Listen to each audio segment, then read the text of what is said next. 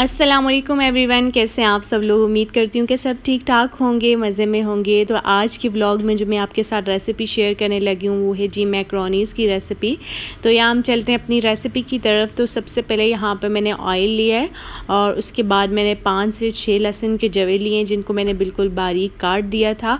और अब हम इनको फ्राई करेंगे और उसके बाद मैंने लिया है जी चिकन मैंने यहाँ पर बोनलेस चिकन लिया है। और इसको भी मैंने क्यूब की फार्म में काट दिया था और इसको भी हम लोग तकरीबन पाँच से छः मिनट तक फ्राई करेंगे। पाँच से छः मिनट गुजरने के बाद हम लोग इसमें मसाले ऐड करेंगे। यहाँ पे हाफ़ टेबल स्पून मैंने हल्दी पाउडर लिए, हाफ़ टेबल स्पून मैंने लाल मिर्च लिए।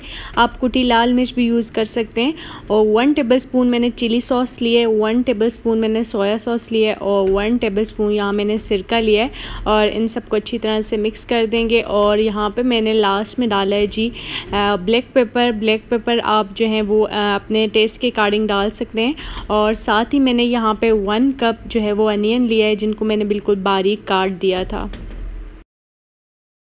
तो यहाँ पे हम लोग दो मिनट तक अनियन को फ्राई करेंगे। ज़्यादा हमने फ्राई नहीं करना और साथ ही मैंने यहाँ पे हाफ़ टेबल स्पून ज़ीरा पाउडर लिया और इसको भी इसमें मिक्स कर दिया था। और साथ ही यहाँ पे हाफ़ कप हमने गाजर का लिया। है गाजर को तकरीबन हम लोग तीन से चार मिनट तक पकाएँगे क्योंकि ये थोड़ा गलने में टाइम लेती है। और साथ ही मैंने यहाँ पर हाफ़ कप शिमला मिर्च का ऐड किया और इसको भी हम लोग इसमें अच्छी तरह से मिक्स कर देंगे और तकरीबन तीन से चार मिनट तक पकाएँगे। हम लोगों ने ज़्यादा इसको पकाना नहीं है।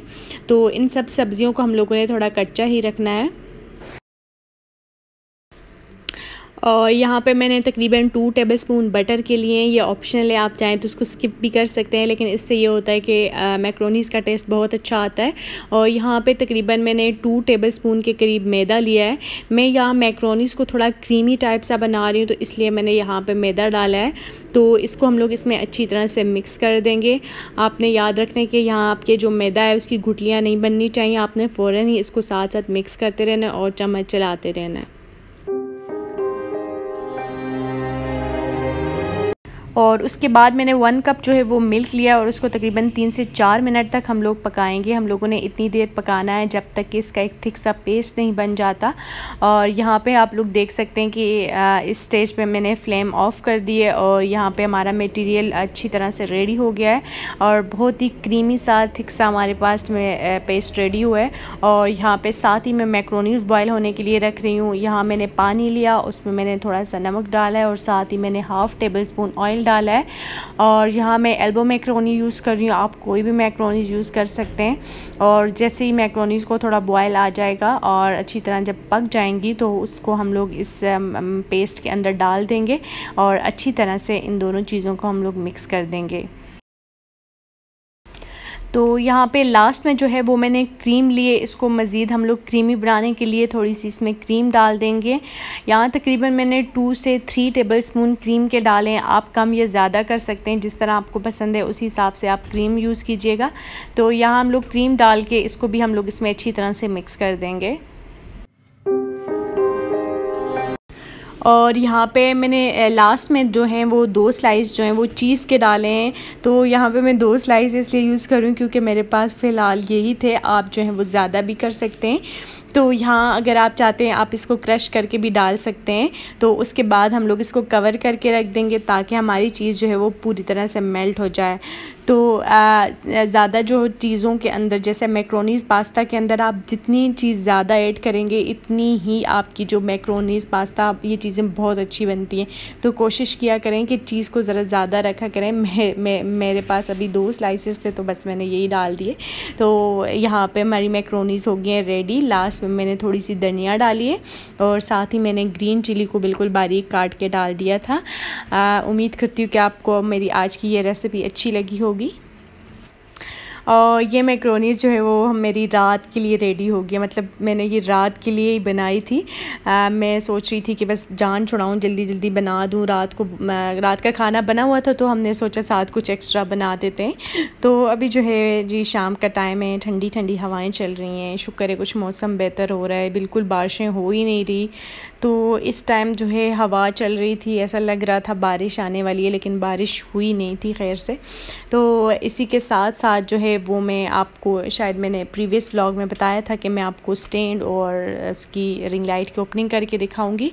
तो आ, मैंने आपको शायद आपने अगर मेरा वो प्रीवियस व्लॉग देखा हो तो उसमें मैंने एक स्टैंड दिखाया था आपको एक रिंग लाइट दिखाई थी तो आज उन्हीं चीज़ों की मैं ओपनिंग करने जा रही हूँ।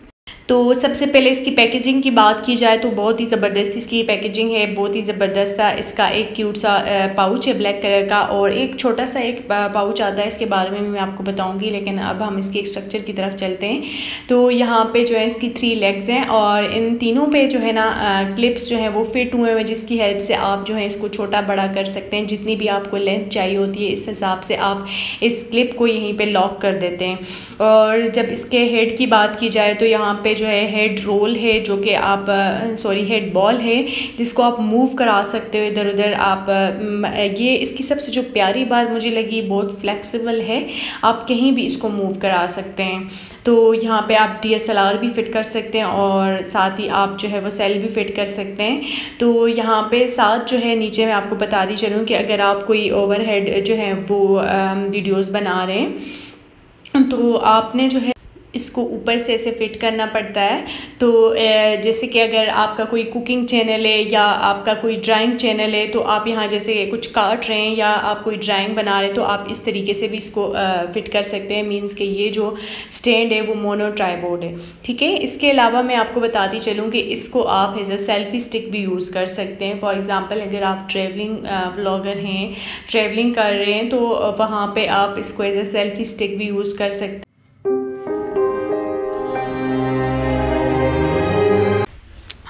और यहाँ पे जो है लास्ट में मैंने आपको बताया था कि थ्री लॉक्स लगे होते हैं इसको। तो यहाँ पे जैसे वीडियो में दिखा रहे हैं कि यहाँ पे इसको हम लोगों ने यहाँ से ओपन किया, जो भी आपने इसकी लेंथ रखनी है वो रखी और उसके बाद यहीं पे इसको लॉक कर दिया। अच्छा अभी मैं आपको इसकी फ़ाइनल लुक दिखा देती हूँ। बहुत ही ज़बरदस्त स्टैंड है। ये स्टैंड मुझे आपको दिखाने का सिर्फ़ एक ही मकसद था कि जैसे आप लोगों में से बहुत से न्यू यूट्यूबर हैं और मैं भी एक न्यू यूट्यूबर हूँ। तो मैंने बहुत से ऑनलाइन स्टैंड बाय किए थे, लेकिन मुझे जो है ना, इतने कोई ख़राब निकले वो। तो बस मुझे ये स्टैंड अच्छा लगा था तो मैंने सोचा मैं आपसे डिटेल में वीडियो शेयर कर दूँ इसकी। तो आई थिंक मुझे पड़ा था ये अलेवन थाउज़ेंड में। इससे भी अच्छे स्टैंड थे, बहुत मज़े मज़े के थे, लेकिन मैंने सोचा कि मैं तो यही अफोर्ड कर सकती हूँ। तो अच्छा भी था, इसलिए मैंने ले लिया। क्वालिटी वाइज भी अच्छा था तो बस मैंने फिर अपने लिए यही बाय कर दिया। तो अगर आपको ये स्टैंड अच्छा लगता है तो ज़रूर बाय कीजिएगा। आप बहुत ज़बरदस्त स्टैंड है और साथ ही इसकी रिंग लाइट भी बहुत मज़े की थी। तो रिंग लाइट भी आई थिंक मुझे ज़्यादा मैंने एक्सपेंसिव नहीं ली थी वन थाउज़ेंड में मुझे पड़ गई थी। तो अभी जी मैं आ गई हूँ रूम और मैं खा रही हूँ मैंगो और इसी के साथ साथ मैं अपने इस ब्लॉग का एंड करूँगी। इन मैं आपसे मिलूँगी अपनी नेक्स्ट वीडियो में एक नए ब्लॉग के साथ। अल्लाह हाफिज़।